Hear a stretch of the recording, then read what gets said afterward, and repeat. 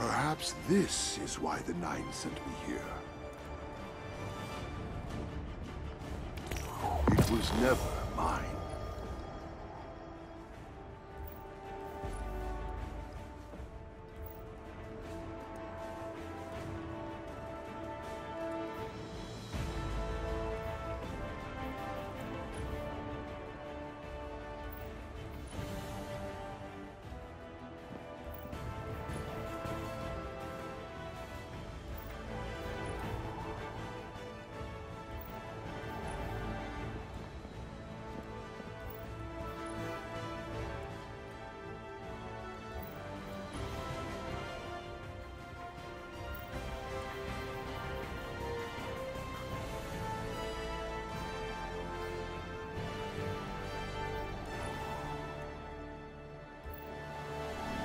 I hope to be here again.